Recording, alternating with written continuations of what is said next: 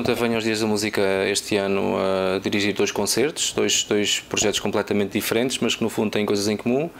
Uh, o primeiro concerto já foi com a, com a Deutsches Kammerorchester, uma orquestra de câmara que veio de Berlim, e fizemos a Carmen Suite Chetrin, portanto, uma versão da ópera Carmen que o Chetrin fez para a esposa dele, que era bailarina, e portanto ele fez um bailado. Uh, e o segundo concerto é, uh, no fundo, além de uma orquestra, são duas orquestras, aliás, é a Deutsches Kammerorchester, precisamente, a Orquestra de Câmara Alemã, que se junta à Orquestra de Câmara Portuguesa uh, e vamos fazer a ópera Janis Kiki de Puccini, com um elenco fantástico de cantores, todos portugueses, fantásticos, com o José Fardilha no papel principal, Janis Kiki, etc. E, portanto, são dois projetos muito, muito aliciantes que também implicam muita responsabilidade Uh, mas trabalhamos muito bem esta semana e tenho certeza que vão, vai ser também o Janis Kiko um concerto fantástico e, e que sobretudo que seja muito divertido também para o público.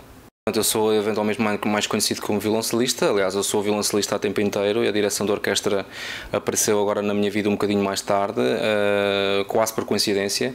Uh, mas tenho feito algumas coisas interessantes e tenho, tenho tido sobretudo muito prazer em, tudo, em todos os projetos que tenho feito e portanto é possível que muitas pessoas esta vez, pela primeira vez, me vão conhecer também como, como maestro, como diretor da orquestra, uh, mas a impressão que tenho é que, que uh, portanto, que as sensações são boas também, porque temos trabalhado muito bem com os músicos com quem, com quem tenho estado a trabalhar esta semana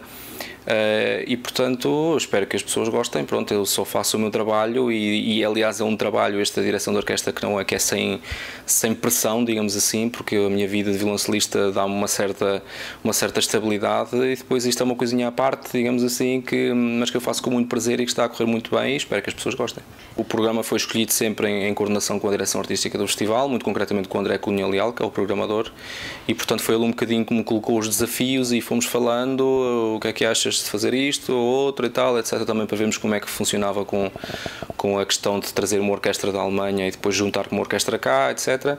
E acho que chegámos a um, a um formato ou a dois formatos para os dois concertos muito, muito sólidos e no primeiro já se confirmou que o concerto foi bastante bom uh, e agora no segundo tenho certeza que também vai ser e portanto espero que, que o público goste que no fundo é, é essa a nossa missão e o nosso objetivo principal. É um desafio enorme, portanto as orquestras juntaram-se agora há 3, 4 dias, tocaram pela primeira vez, aliás nós organizámos as coisas para, por exemplo, para misturar realmente as duas orquestras e nas cordas estão em cada estante o músico de cada orquestra e portanto isso é sempre no início um bocadinho, um bocadinho uh, fora do normal, digamos assim, mas, mas funcionou super bem. Uh, também é uma, uma, uma situação bonita, digamos assim, para os músicos conhecerem, conviverem, etc. E acho que também é um motivo de grande orgulho podemos colocar uma orquestra uh, portuguesa ao lado de uma orquestra alemã e, e sem qualquer tipo de preconceito. Uh, e a qualidade é muito boa, o equilíbrio é, é, muito bom e, portanto, acho que também para os portugueses é um, pode ser um motivo de grande orgulho, deve ser um motivo de grande orgulho. Um conceito histórico também. Sim, de certa forma sim, pronto, todos os concertos são históricos, este é marcante porque realmente talvez seja uma das primeiras vezes que se faz um, um projeto com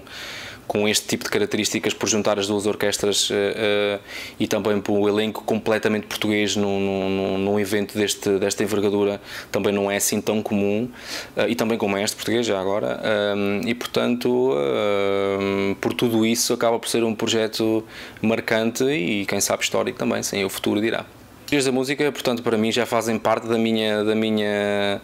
do meu cotidiano quase, porque já, já são várias vezes que venho cá, já vim como solista, já vim como músico de câmara, já vim a dirigir várias vezes também, portanto acho que é um festival muito bonito, sobretudo porque pode uh, chamar à música erudita uh, e a um espaço como o Centro Escolar de Belém